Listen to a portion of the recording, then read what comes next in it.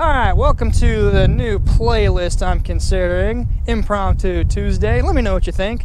Unscripted, unrehearsed, on the fly. I pulled up to this job. I was like, hey, look at that line. I was out here in the, the road waiting for the vehicle in the driveway to be pulling out, and I noticed this line of snow across the bottom. I was just like, hmm, that, that's kind of a dead indicator of there may not be enough insulation in the attic, not enough adequate insulation up in the attic.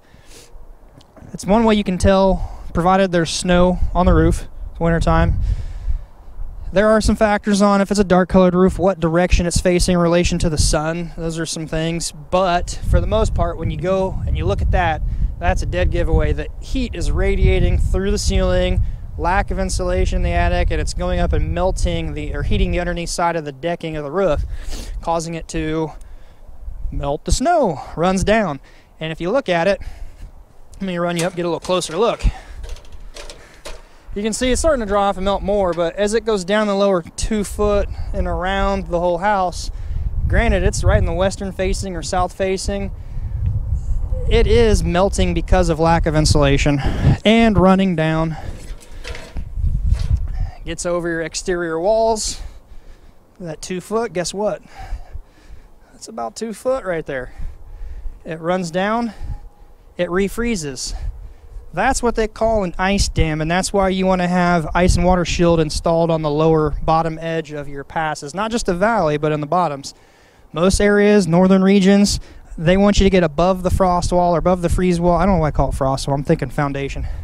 But they wanted you to get it over so it's high enough where if it freezes and melts back down, you don't have ice dam issue. A shingle is designed to shed water, not waterproof your roof. So if you have an ice dam, and I'll link a picture of it up up here, it melts, runs down, hits the frozen blockage, ice dam, it will back up under your shingles. The ice and water shield is designed to seal around your nails as another barrier if it happens to shed the water. Check out this icicle, by the way. I'm looking at it. I want to let this thing hopefully hang on for dear life and melt longer and freeze lower and see if it can make it till tomorrow. How long, if they will grow to the bottom. Now, it's been a while since I've been out of school. Leave me a comment.